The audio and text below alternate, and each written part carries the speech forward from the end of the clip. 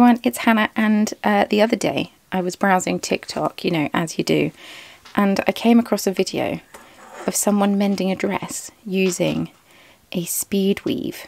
Pretty amazing, pretty amazing. So um, I looked in the comments and saw that you can't get them on Amazon um, and that you can tend to only get them from like eBay or Etsy. So I took to Etsy and found this one. I'll pop a link in the description box below. But the day that I received this, Knit with Attitude started stocking them in their shop, and that's a local yarn shop in London. So I'll pop that in the description box as well, because this came from the Ukraine and took a few more weeks to arrive um, than I imagined Knit with Attitude will. But essentially, what this nifty little tool is, is it helps you um, darn your knits and also just non-knit fabric as well. Um, so yeah, I think it will come in very useful. The shop I got it from was in various sizes. This is a smaller size with 14 hooks because I thought it will do the job for what I need it to do. Um, and if I find that I use it a lot, then I can always get another one or whatever. But one is fine for now.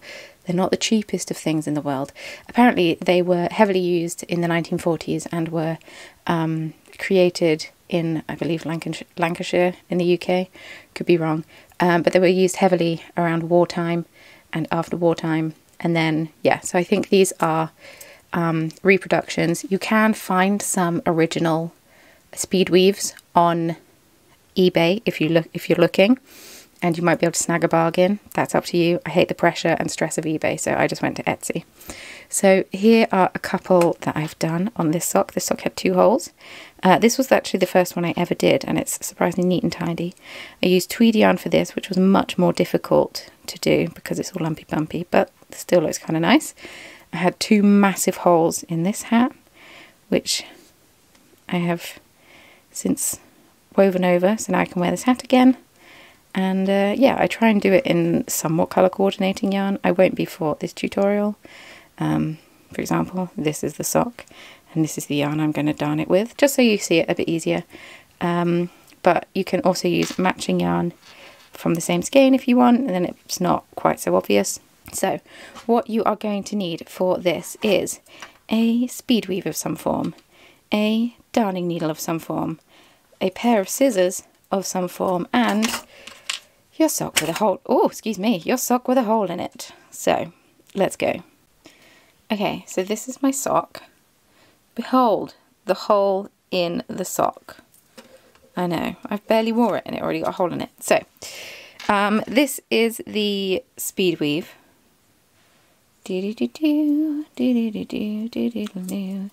So it comes apart like so. You've got an elastic, oh, excuse me. You have an elastic band around here. You've got all your hooks. This one has 14 hooks. And you have your disc. So, to secure, disc inside the sock or whatever piece of knitting you are repairing. Okay, so the disc is inside there. Just need to readjust the elastic band. Put it. I pop it over the hooks. I don't know if that's where it needs to be, and I try and line up line up the hooks with the direction of the knitting, so it's not on a skew. And attach that on.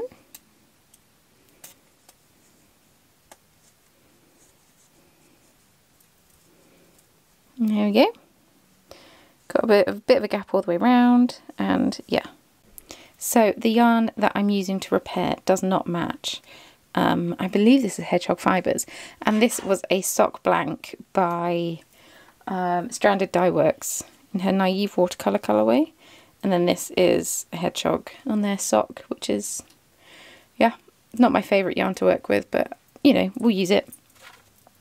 And then I also have a darning needle, because of course. So, threading my darning needle. So to make it a little bit easier, I try and stand up the hook so they're somewhat upright. Um, I just use my needle to help me out with that. You can use these little loops up here and make try to make them stand up. Once again, this is not science. This was not in any instructions. It's just easier to hook things around when the hooks are facing upwards. Okay, so we're going a few rows below, so three rows below and maybe three stitches across.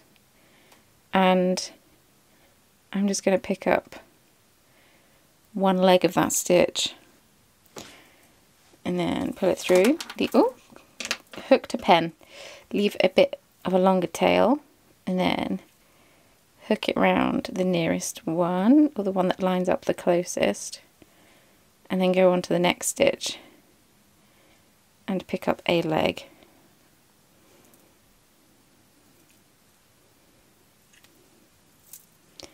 and continue across.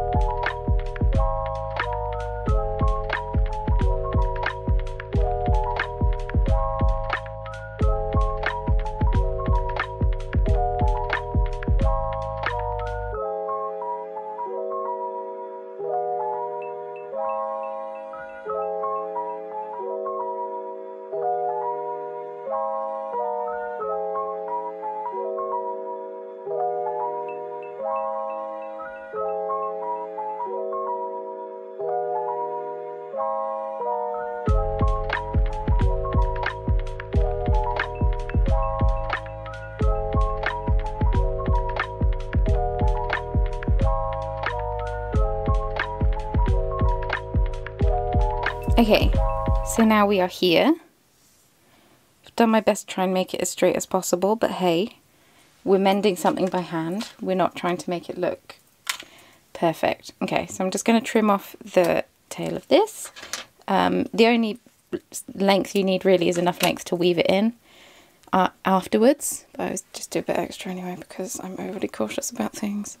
I'm going to take a bit more length of this because now this is what we're going to weave with. So I'm overly cautious about how much I have because I haven't worked out how much I need. You don't actually need that much, but I haven't worked out. So you want to lay your hooks back down and you will see that one side of your loop is up in the air. Fantastic, that's what we like. So you want to pick up a stitch on this side around where you started your warp now we're going to start weaving. So pull, pull a length through and then you're going to go through that first layer of loops. Um, I bring my needle down like this as I go to make sure that I'm not going through any of the strands of yarn, especially if you're using quite a splitty yarn, which, if I remember correctly, this yarn does like to split. So, you want to bring it down as far as you can. I then use my needle to kind of push it down. Then you want to pick up a stitch on the other side. I'm not left-handed, so why I'm doing it left-handed I do not know. And bring it through. And then you're going to flip your hooks over. And now the other side is sticking up. So then you're sewing straight through there making sure you're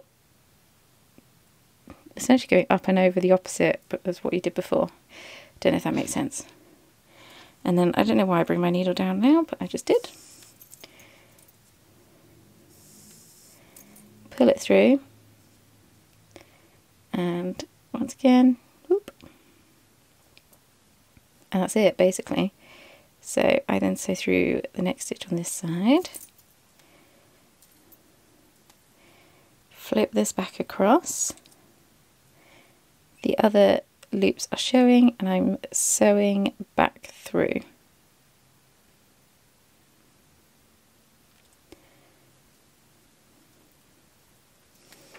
And that's it, essentially. You're just weaving backwards and forwards over the top of the hole in your knit. It's really fun to do. Okay. Picking up a stitch on the other side. This is hard to do with the camera in the way.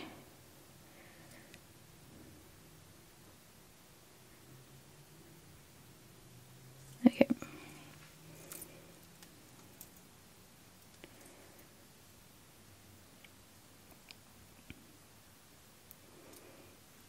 Flipping the hooks back across and sewing back through.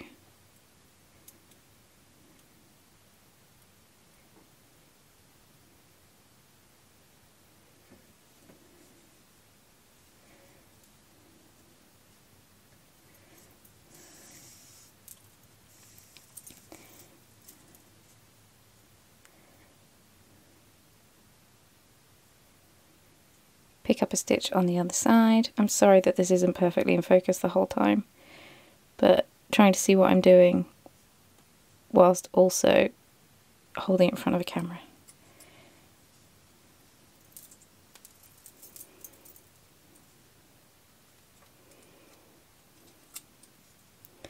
And just keep going, basically.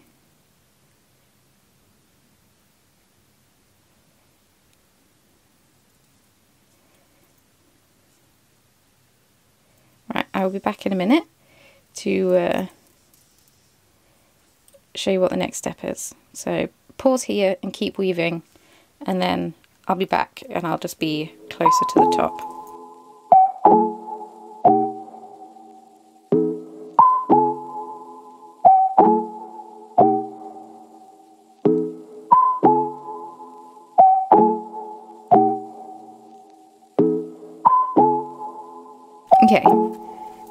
Are done. I don't think I could fit any more through there. I'm just going to catch this on this other side. It's kind of difficult because these bits have felted a tiny bit. Maybe I've worn these for longer than I thought, but in my head I hadn't worn these for long before they got a hole in it. Anyway, so this is my patch in all its woven glory. Like I say, it isn't perfect, but you know what? It functions. So now we've got to get this off. Um, once again, I try and stand up my hooks. Theory being it's a bit easier to unhook something if the hooks aren't lying down. But once again, I don't know if there's logic in that. And then take off your elastic band.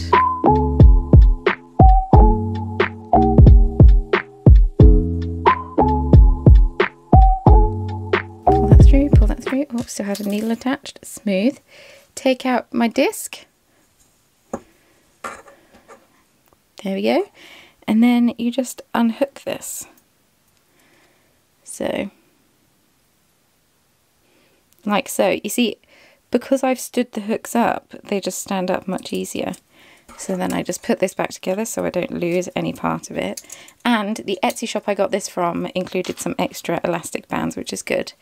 Um, because obviously they're quite essential. So now, all I have to do is take my incredibly long end. Like I said, I was overzealous, I always am, with how much I need. Um, la la la. So then I'm just going to sew along this edge and attach it to my sock in the best possible way. So pick up a stitch, pick up a loop, rinse and repeat.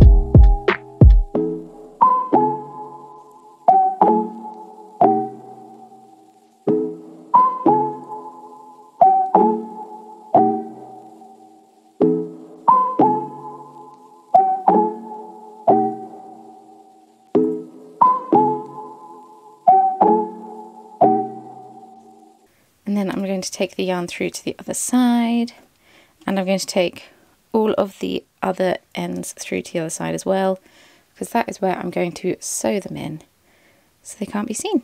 So now you can see that this little hole is all covered up, all the stitches around it are all picked up. Um, what I have done on some of my other things I've darned is I've sewn around the outside of the hole. I've since learnt that that's not necessary, um, so I won't be doing for this one. And so then, yeah, you just weave in all your ends like you would on your regular knit. And then I'll be back to show you how it looks. And there we go. I won't lie, not the neatest I've done, but I also haven't darned on camera before, so yeah. Now the hole is mended and I can wear the socks again with its twin. They're definitely, this pair of socks is definitely sisters, not twins. They're from the same sock blank, so yeah. All mended. So if you don't want a stark contrast in yarn like I have done here, you can always use some leftovers of the matching yarn to make one that isn't quite so obvious. Um, this is done on a heel of a sock and I had some of the yarn left over. It doesn't require much at all, so yeah, that's what happens if you make one that's a bit more matchy-matchy. So I have popped a link to the Etsy shop that I got my Speedweve from. Um, but the day that I received mine, I also noticed that Knit with Attitude in London have started to stock them, but they're um, there's this wooden, the disc instead of plastic. So I'll pop both of them in the description box below if you're interested in getting your own. Not sponsored in any way, I just wanted to share it. So thank you so much for watching. If you enjoyed it, thumbs up, leave a comment, the usual shebang. Feel free to subscribe. And uh, yeah, social media links can all be found in the description box below. And I will see you very soon in my next video. Bye.